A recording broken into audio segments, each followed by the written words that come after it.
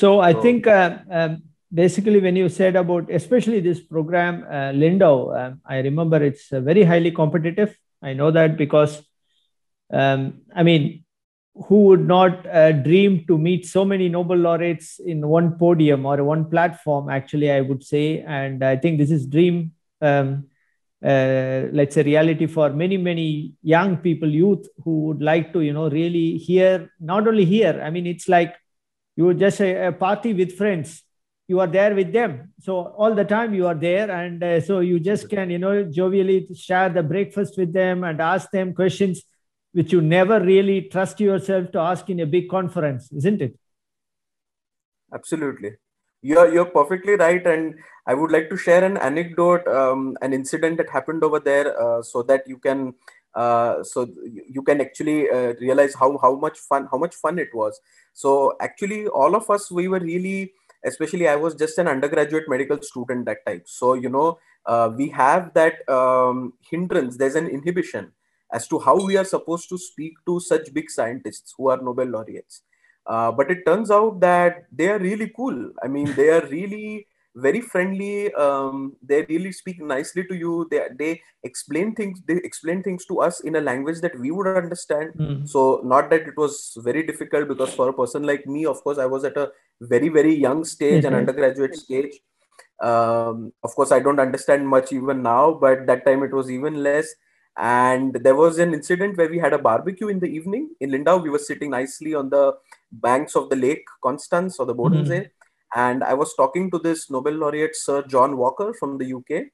And he was, uh, so he worked in mitochondrial metabolism. So, which has been a dream, like a fantasy for me right from the first year of my medical school. Uh, so, I was speaking to him and uh, he just calmly told me, uh, call me John. I mean, mm. of hmm. course, I was calling him Sir. As yeah, of course. For, yeah. As any Indian does. Um, so I was like, yes, sir. And he's like, call me John. And I was shocked. I mean, yeah. I couldn't imagine a Nobel laureate telling an undergraduate 23 or 22 year old student that call me by his first, call him by his uh-huh. first name. So this was something uh, really surprising. Uh, I still couldn't do it, by the way. I kept calling him sir or Professor Walker. Uh, that I couldn't do, but uh, but then it was also very interesting that he actually accepted my request of having lunch one on one with him the next day, oh. where I could spend one and a half hours exclusively with him one on one while having lunch and talking to him about his research, learning from what all he did in his life.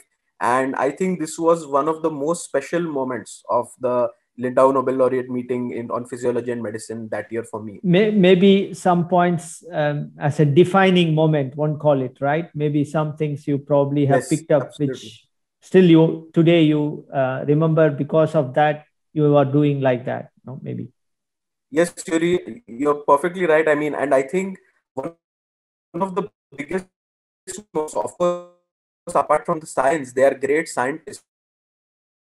They are great clinicians or physicists of and the humility. And if those people can be so humble uh, then we should be also.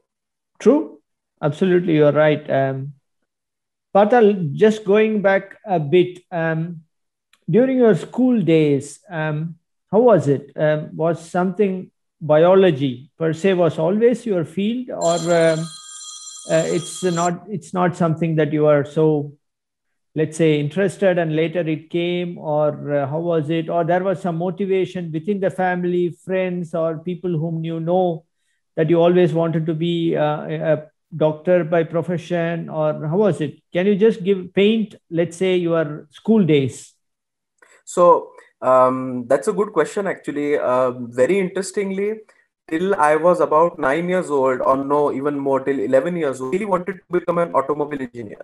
So uh, my father is a mechanical engineer who works who worked a lot in the automotive and manufacturing industry.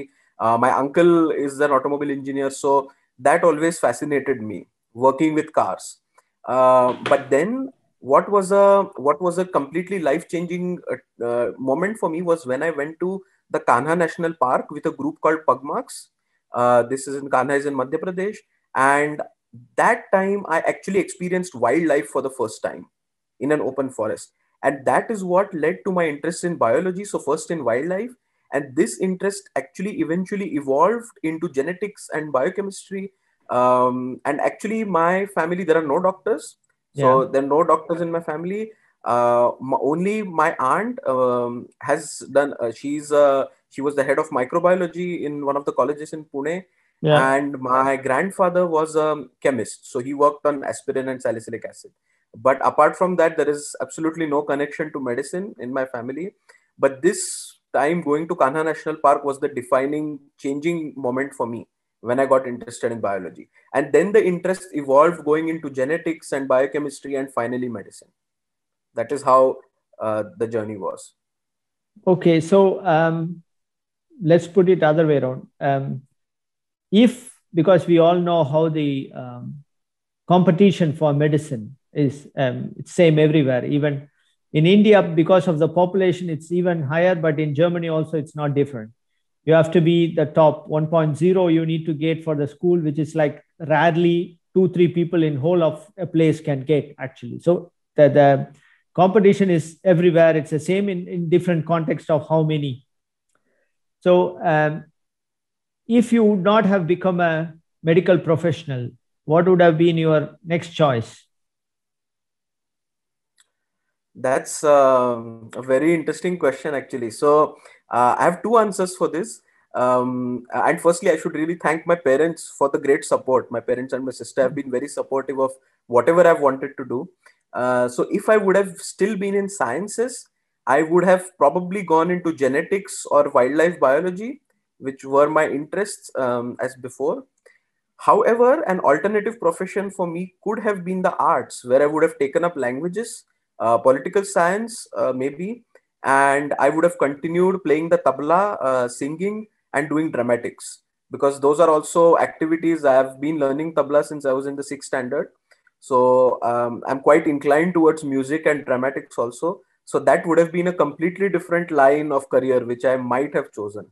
Had, I, had I think you are not far away. You have chosen Hanover as the right destination. You know, we have one of the very, uh, let's say, uh, renowned university of uh, music um, in Hanover, actually. Yes. Um, and so uh, your passion certainly and uh, i mean we have to hear more about your tabla um, i think that's still missing but also political science i mean um, yeah we, we are more than happy if you can join uh, politics also i mean still you can do it i mean there are many doctors who are also politicians you know uh, there are yes. few who are also now in the news very often regarding corona as well who are no so anyway um very interesting